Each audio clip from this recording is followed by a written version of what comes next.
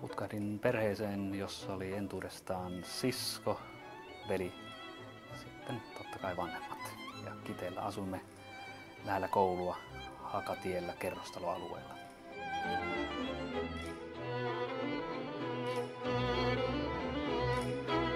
Siellä peuhattiin kerrostalon muiden poikien, poikien kanssa ja tehtiin töllön töitä.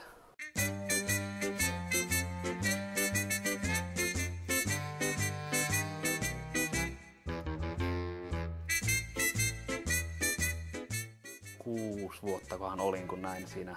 Asuttiin tosiaan koulun vieressä ja koulun kenttä oli siinä ihan meidän, meidän asuintalon ja tuota, alasteen välissä. Ja siinä sitten pelasi Kiteen urheilijoiden juniorijoukkue ja kävi sitten katsomaan sitä kentän laidalta. Tuohon näyttää mukavalta puuhalta. Ja sitä jatkukin sitten yläasteen loppuun asti suurin piirtein.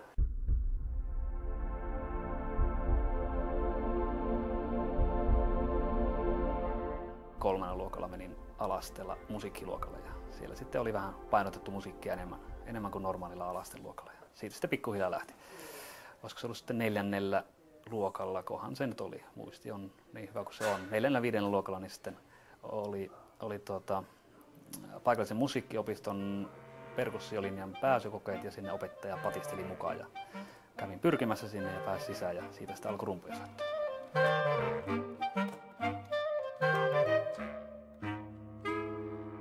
Ensimmäinen rumpusetti oli muistaakseni New Sound-merkkinen huippulaadukas setti, jonka ostin siskoni poikaystävältä, jolta se oli jäänyt käyttämättömäksi. Ja tuota, se sitten roudattiin, kun asuttiin kerrostalossa, niin tietenkään kerrostaloon sitä voinut oikein laittaa naapureiden iloksi, niin se roudattiin Mummolaan Lieksaan Sokojärvelle ja siellä sitten mummon iloksi käytiin paukuttelemassa, paukuttelemassa kylmävaraston nurkassa, nurkassa rumpujaana silloin, kun siellä vierailtiin. Se oli ensimmäinen setti. No kuten ehkä meidän ensimmäisen levyn promokuvista ja alkuaikojen esitymistä näkyy, niin meillä, meillä ei keskitytty hirveästi tuohon poseerauksen hallintaan alkuaikoina. Et ei, ei, ei tullut harjoiteltu pienenä sitä, että se oli enemmänkin tosiaan sitä soitoharjoittelua. Et vasta myöhemmin alettiin pikkasen antaa enemmän painoarvoa sille, että miltä se näyttää sieltä katsojan puolelta. Ei ainoastaan siltä, miltä se kuulostaa.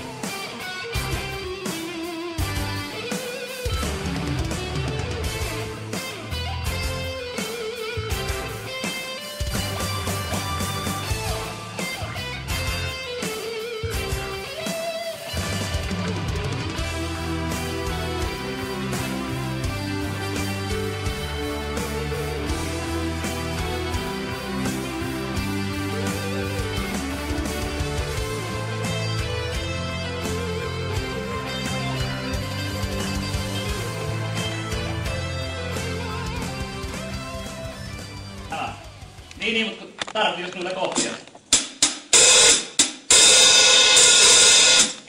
Sehän on hyvä. Paska soundi. Se on kova. Se on heavy. Se on kova ja heavy. Paisteinen valitus. No nyt. Otetaan eka kahlaus läpi.